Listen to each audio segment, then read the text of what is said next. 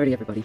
I don't know if you remember me starting these flowers or whatever, but this is a project I am working on for my mother. It's gonna, of course, you see the wood, and then this one, I just started, and it'll go up here, and then I'm gonna put little stems here, and maybe a little bug, and a little frog, and a little turtle, and that'll go to my mother. As you see, I got a ton of other projects going on back there, so, yeah. Just wanted to see, show you the lovely garden I'm doing for my mother for Easter. She doesn't know about it, but she's gonna love it. I can get a ladybug here, I got a beetle going here, and it'll just be this one other flower going up on this side. And I may put a little frog here, or a turtle, or an ant. We will see. Stay tuned to see how it turns out.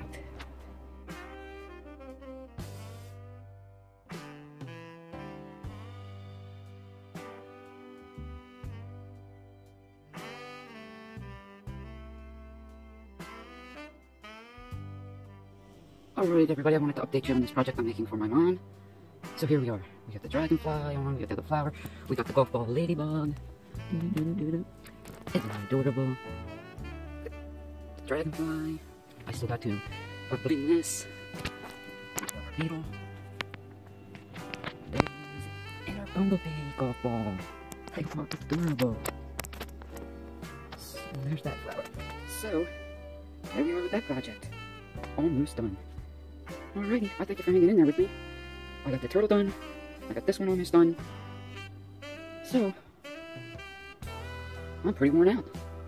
Alrighty, thanks for watching. I'll show you the complete three projects I was doing. You got this I was doing while I was waiting for this to dry. I had the lobster going, I had the turtle going. But the lobster one will be a separate video. That you'll see that. But you, like I said, you've already seen the turtle I fan shade, and this is the summer project that I did for my mother. Alright, till next time. Bye.